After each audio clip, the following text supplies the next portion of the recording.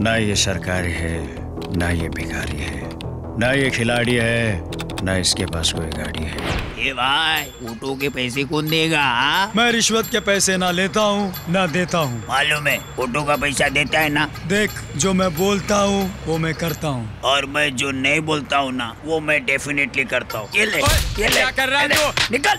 Crack किधर का? अरे भैया पान तो खा लिया पैसा कौन देगा ए? मैं कभी किसी को रिश्वत नहीं देता। अरे हमने तुमको पान खिलाया है भाँग नहीं जल्दी से पैसे दे दो चाहे मेरी जान चली जाए मैं रिश्वत नहीं दूँगा। तो अभी हमारा पीडब्ल्यू डी चलेगा। मतलब? पान वाले का डंडा। आराम से ओए ओए तेरा पीडब्ल्यूडी संभाल। ये ले।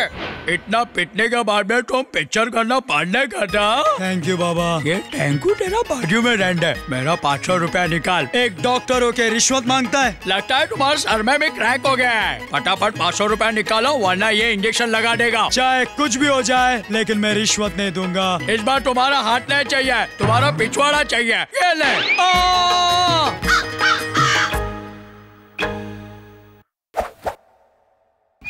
दो पल का इंटरवल है।